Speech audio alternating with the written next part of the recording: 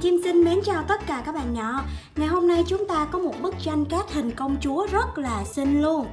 Wow. À, Trước đây thì chị Chim Sinh đã tô rất là nhiều bức tranh cát rồi đúng không nè? Nhưng mà ngày hôm nay thì cũng đặc biệt có một bức tranh cát này rất là xinh. À, Công chúa này là dạng một công chúa cổ xưa Cái mái tóc xoăn xoăn như thế này nè. Rồi bây giờ chúng ta sẽ bắt đầu tô nhé. Và ở đây chúng ta có rất là nhiều màu cát nè Tổng cộng 12 màu cát theo hồ tô nha. Hãy cùng xem chị tô cát nhé.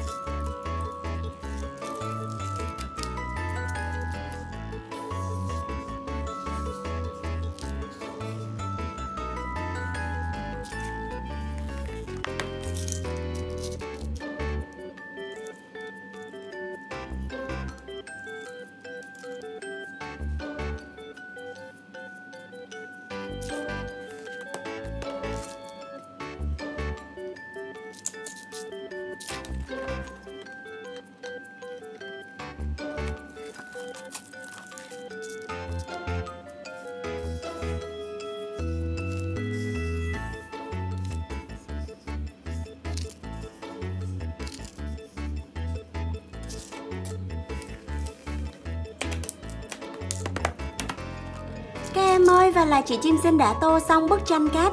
Hình nàng công chúa bá tước rồi nè. Rất là dễ thương ha. Nàng công chúa của chúng ta có một cái mái tóc rất là lạ.